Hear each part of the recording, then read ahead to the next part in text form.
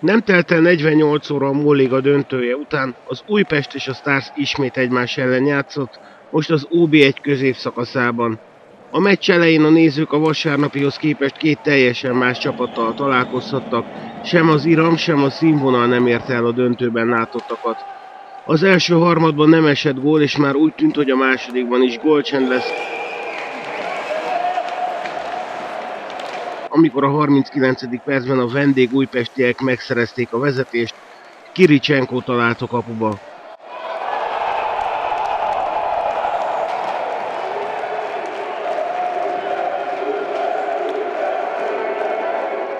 Kadlubiak kerülte meg a kaput, majd remekül tette vissza a korongot Kiricsenko elé, utóbbinak már nem volt nehéz dolga a kiszolgáltatott rajnával szemben.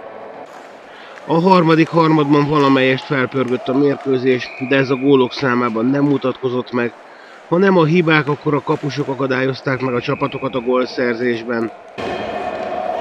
Az utolsó két percre a Stars levitte a jégről kapusát, de a húzás nem jött be, Kiricsenko második gólja biztosá tette a lilák sikerét,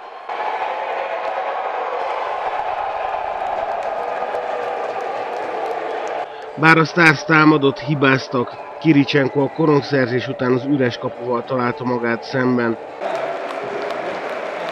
Az Újpest és a Stars szerdán a Megyeri úton ismét megmérkőzik egymással.